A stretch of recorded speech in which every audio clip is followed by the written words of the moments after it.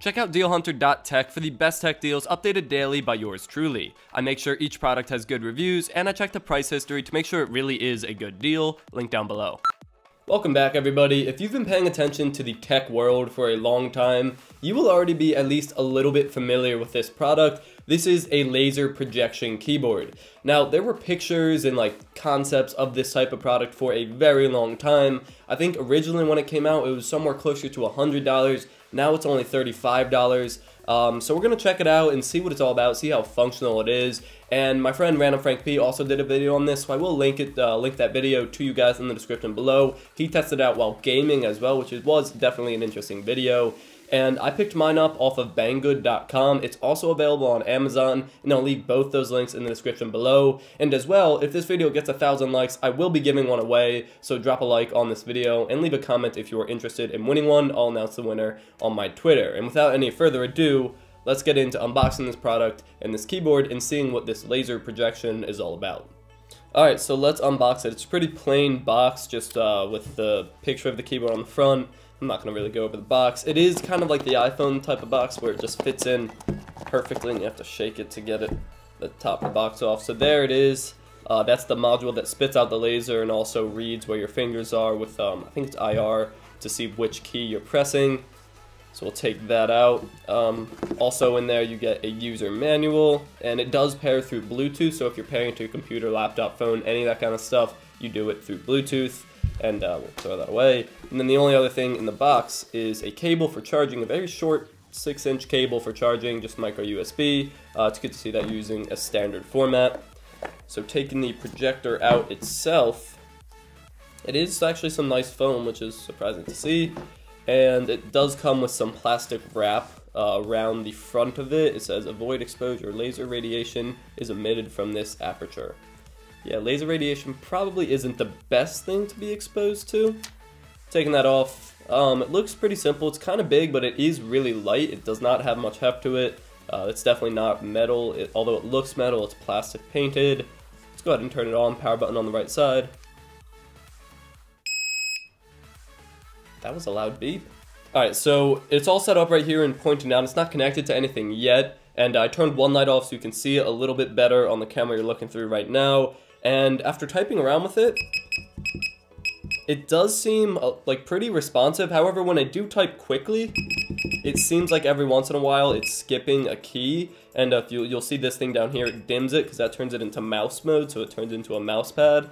And um, so yeah, there is an audible noise. I'm to see if I can turn that off before the next clip in this video. And I thought the best way to really test out this product would be to plug it into the computer and do a real typing test with typing speed. I'm pretty good with touchscreen displays or touchscreen type keyboards because uh, I used to take a lot of notes on my iPad in class, so I got really used to just the type of touchscreen feel when typing on a keyboard. So I'm going to be interested to see just how responsive this is and uh, how well it performs in a real keyboard scenario. So let's take it over to the main desk and try it out.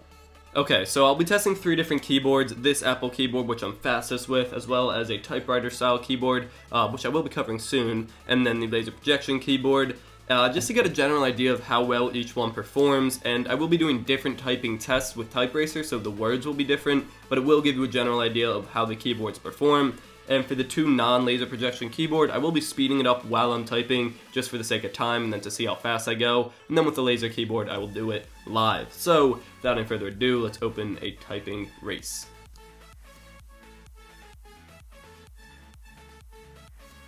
Alright, so 96 words per minute is about correct with my speed. Um, if I'm like practiced and warmed up, I can get around a little bit above 100, but that's okay for testing scenarios. 96 for the best case scenario with this keyboard. Let's move on to the typewriter. Alright, so now with the typewriter keyboard, this is a mechanical typewriter keyboard and it's wireless, and I'll be covering it soon. It's a really cool keyboard, and this is just to give another perspective. This isn't the easiest thing to type on, so I'm actually interested to see if I'll be able to type faster on this or the laser keyboard. So once again, let's enter a typing race. Alright, so this time I actually got 100 words per minute. Uh, that is kind of because I'm really used to this keyboard right now. If I use this keyboard or the Apple keyboard, I would generally be faster on the Apple keyboard. Uh, these are using Cherry MX Blues. If I pull a keycap off, it's just a really cool keyboard design. So 100 words per minute for the typewriter. And let's see how fast I can type with the laser projection keyboard and see if it's actually a viable alternative.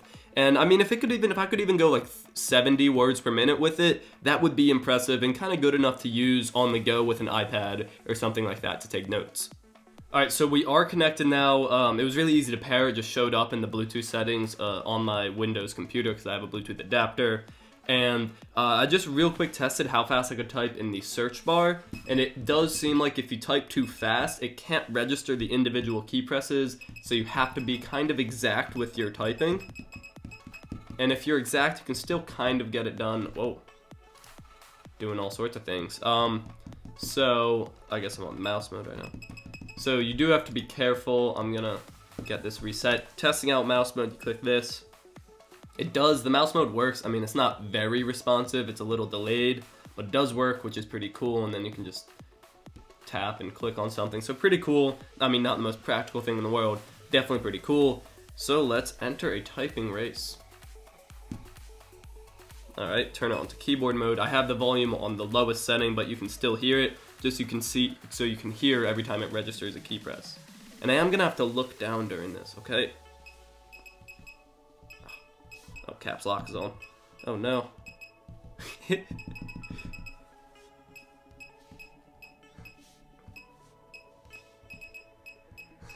this is not easy.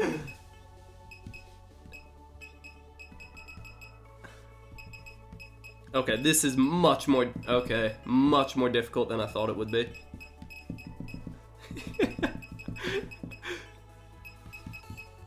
you can get away with it a little bit better by uh, using just two fingers. That is just not the key that should be there. Where is comma? Oh, it's all the way up here. Oh, no. No. Shift in that.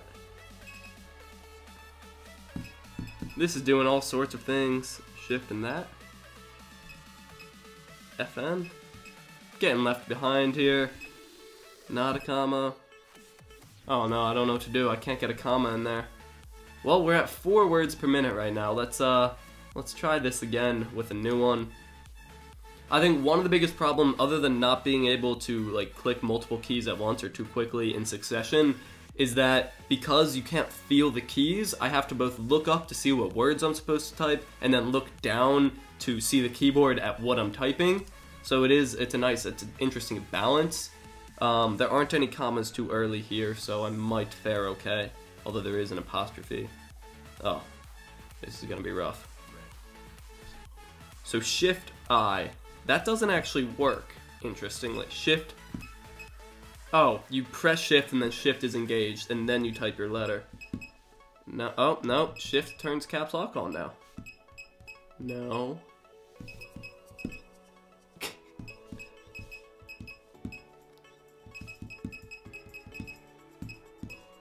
oh god, where's apostrophe? This?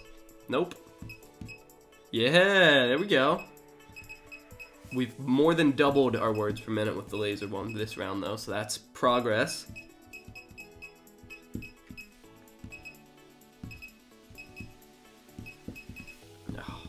This is much more difficult than I anticipated. What? Oh, I turned it on to mouse mode. Oh, I'm lost now. Turn mouse mode on. Get down to the box. Come on.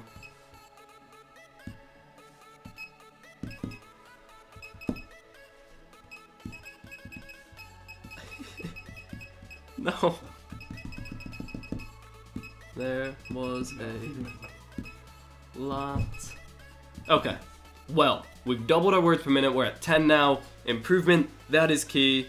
And um, overall, this is not practical in any way. It's very difficult to know what you're pressing, especially when you're reading off what you're going to type. I guess if I was knew what I was going to type, like, I knew what I was going, mouse mode, to type.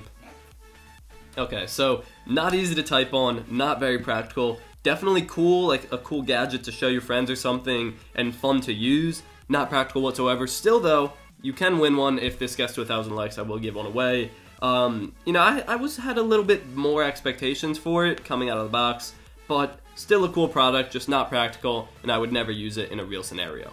So yeah, that's it for this video. Definitely a cool product, not the most practical thing in the world, but it's a cool like proof of concept and definitely fun to try out and show to your friends and whatnot. Remember, if this video reaches a thousand likes, I will be giving one away on Twitter, so just drop a comment and drop a like if you want to see that happen, and I'll link Random Frank P's videos down below. He is the one, uh, when I saw that video, I was like, I should definitely get my hands on that, so I'm not copying or anything, well, a little bit. Um, I just wanted to check it out, so I want to give credit where credit's due. Thank you for watching, subscribe to see more content, and as always, stay classy.